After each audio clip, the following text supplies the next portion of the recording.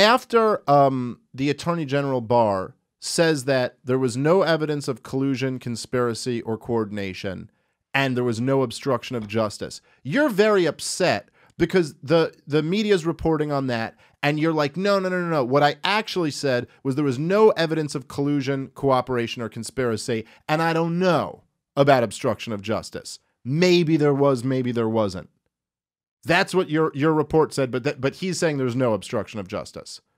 And there, he's saying that the president fully cooperated and you're like well he partially cooperated. So the fact that that was being reported the wrong way this was a big problem for you.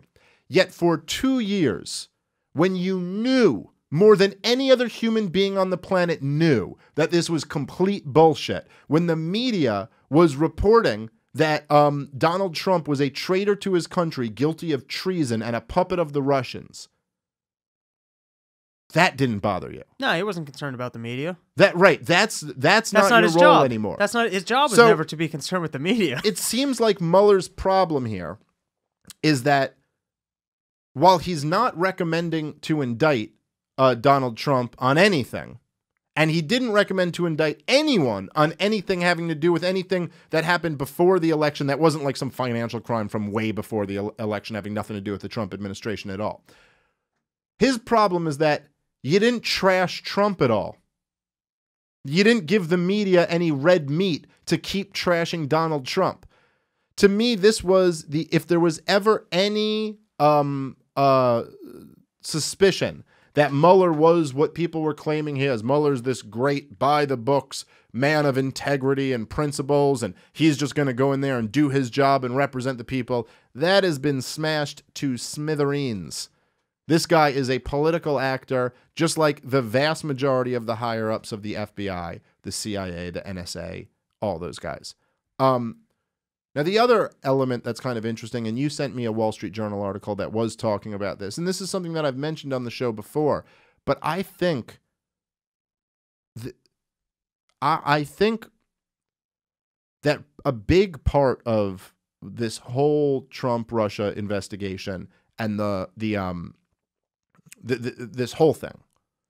Well, I, I think, like I said, number one was this was um, to pin Trump in and not allow him to do what he ran on to to end these wars. Like Donald Trump in the campaign said, wouldn't it be nice if we could work with the Russians, get out of Syria, stop spending all this money, which by the way, stop spending all this money means AKA dry up the military industrial complex gravy train. That's what the money is spent on, right?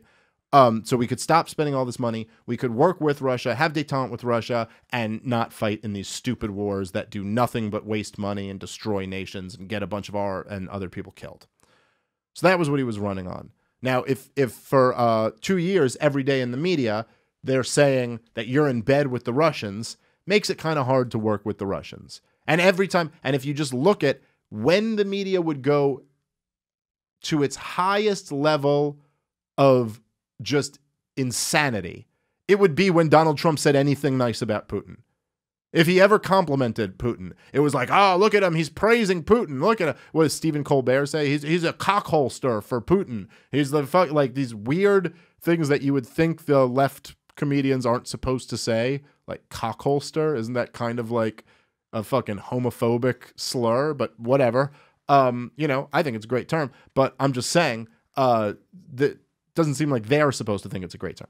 Um, but so that's when they would go their craziest, and they put all this pressure, and it worked. It made him more and more adversarial with Russia because he didn't want to seem like you know he was in bed with them. Um, which maybe that's a homophobic slur too. I don't know. Anyway, the point is that was a big part of it. Was that I think they saw Donald Trump as this wild man who was not controllable and could maybe turn on the military industrial complex and and end the gravy train.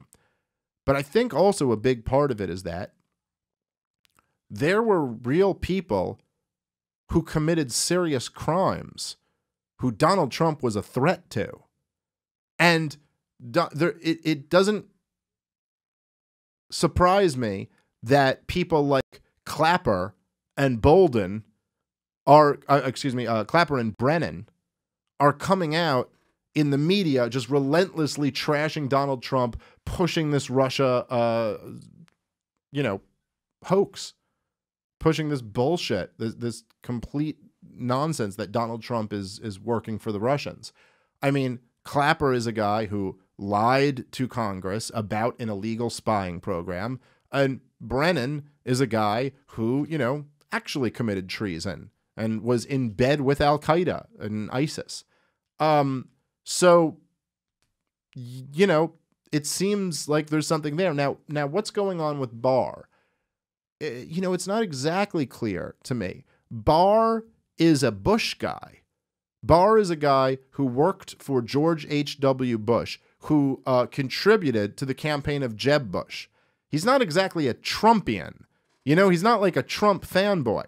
But I think, I'm starting to think that what's going on with, with Bill Barr is that he is um he's a Justice Department guy who's been the head of the Justice Department on two different occasions, who's been in there his whole life, kind of knows the inner workings of the scene.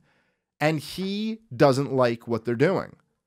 Like he's it, it seems more and more like his thing, it's not what the media is telling you. Which uh, the media is telling you it's like, "Oh, he's just you know, he's sold his soul for Donald Trump. He's basically Donald Trump's slave. He'll do whatever he wants. He's just what you know. They keep saying this thing um, on in the mainstream media where they'll go, "This is an attorney general who was handpicked," and it's like, well, you could just say this is an attorney general because they're all handpicked. That's how attorney generals get their job. They're appointed by the president. That's always been true. So, okay, maybe there's a problem with that system, but that's true for every single attorney general. That's not new for this guy. They say it like it's something about him. This, this, don't forget, You know this was a hand-picked attorney I like general. that standard. Let's have no more unelected officials. Yeah, we'll never right. have to deal with the Kissinger again. right, Let's do exactly. that. Never Timothy Geithner. Never a guy at the Federal Reserve. These fucking people at the Well, that's Supreme right. I mean, Court. the, the Let's Federal rid of all of Reserve. them. Well, it's it, Let's it vote is- on all of them. Let's put it in the hands of the idiots. But by the way, that's a, that's a great example you say right there because anytime anyone with any inkling toward, oh, maybe we should be on a gold standard or maybe the Federal Reserve does too much or maybe they keep interest rates too low or anyone who even hints in the direction that we'd like, they go, we have to maintain the independence of the Fed. But wait a minute. Every Fed chairman is handpicked. Every one of them. That right. So what what is this? All of a sudden, this this guy is a handpicked attorney general. But so what they're saying is basically, oh, and and you've heard this by the way. It's really amazing to me. Just a quick aside, that the the candidates running for Democrat, they seem to all repeat talking points to a T. And Democrats in general, it's like you, you guys like look when the talking points get sent out to you next time, just a, a word of advice to try to help my enemy. How about you just put at the bottom of the talking points, put this into your own words. Don't repeat verbatim because you guys are starting to sound like robots. With the exception of Bernie Sanders, everyone, and, and of course Tulsi Gabbard, every one of the Democratic candidates and every Democrat in general, they say the exact same thing. And this happens over and over and over again. When Trump declared that, um, go, go Tucker Carlson runs some clips about this stuff. I think Hannity does as well. But go look at like when Trump declared the state of emergency on the border. Go look at how many people use the term manufactured crisis.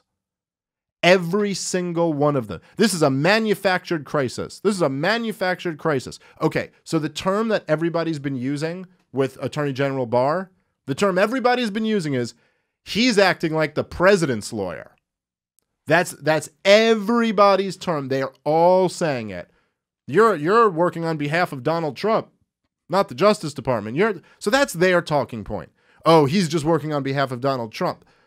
Seems to me that what's actually going on here is that he's critical of what the deep state did to a guy who's running for president. Now, this happens every now and then um, in these positions where there'll be somebody who actually believes the hype.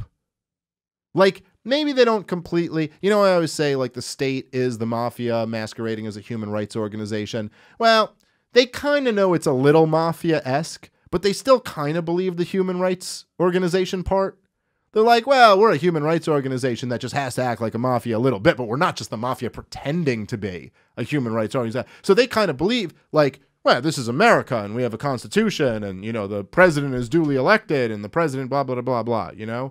all men are created equal and something like that, you know? So I think what's going on is that the attorney general is like, yeah, this is not okay. What what you had were these deep state figures who hate the president spying on him because they hate him. Not for any legitimate reason, because he said in his first testimony in Congress, not this last one, that he was like, yeah, the president was spied on. And he said, you know what? We're going to look into whether that was done the right way or not. And this is what's generating all of the hate against him. It's not anything about his his summary being wrong. It's not anything about him working for Donald Trump. It's the fact that he's a threat to these people. And now all of the anger, all of the the laser focus rage is turned on Barr. He's dealing with all of it. He should uh, step down. He should be removed from his office. Blah blah blah blah. It's all this stuff. And why is this? Well, part of it is the obvious, you know, political reason. Trump got off. The Mueller report didn't deliver the way they wanted it to. You know, that's just what happened. Um, but part of it, so you know, you blame somebody for that's why it's because the attorney general covered it up or something like that. Um, but part of it is that I think a lot of these people realize that they committed very, very serious crimes. And it's kind of like going after the president of the United States and missing. You know, it's like, you know, when they say you, if you swat a bee, you better kill it. Because Mm-hmm. you, you don't kill it, you might get stung. And going against the president of the United States and missing like this, you could get yourself in some trouble. And if you've committed very, very serious crimes, which a whole lot of these people have, by the way, I'm running off the crimes, and this is something you always got to keep in mind when you're talking about the deep state. I'm running off the crimes that we know of. Uh, imagine what we don't know that the CIA's done. I, you know, I mean, if all the details really came out about this, the spying on Donald Trump, imagine how many people in there have committed very serious crimes. It's quite possibly a whole lot of them. And now the idea that you got an attorney general who's saying we're looking into you next, that seem, that guy's got to be publicly tarred and feathered now. So that's what's happening.